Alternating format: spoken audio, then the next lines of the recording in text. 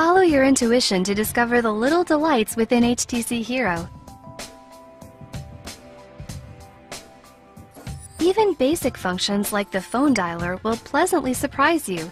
To find Joseph Miller, simply dial his name or even just his initials.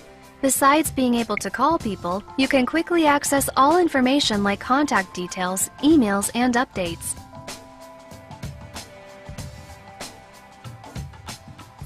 The photos and videos saved on your phone are just a small fraction of the entire album on the HTC Hero. Scrolling through pictures is as easy as a flick. Pinch an image to take a closer look or to zoom back out.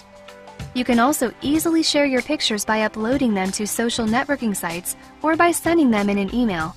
And when you're really in the mood to browse more pictures, you can visit all the photo albums of your Facebook friends or all the photos you and your friends uploaded to Flickr.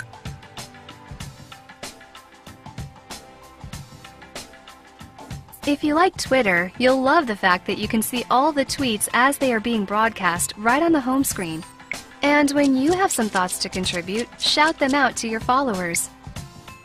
Go into full Twitter mode with just a tap. There you can see all the replies, all direct messages, as well as your favorite tweets.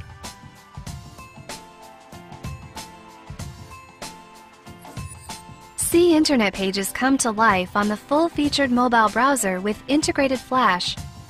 Just pinch the screen to take a closer look at images or enlarge the text. When you adjust the size, the text reflows so you can read without panning left or right.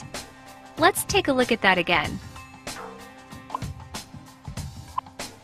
When you're ready to move to another page, the large visual bookmarks lead you to your favorite websites with just a single touch.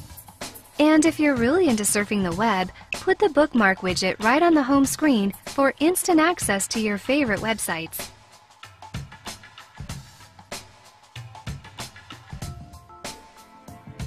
Your music library is waiting to be enjoyed on the HTC Hero.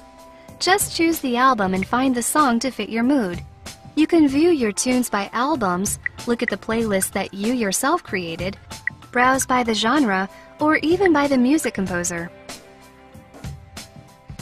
With HTC Hero, you get a phone that perfectly fits your life.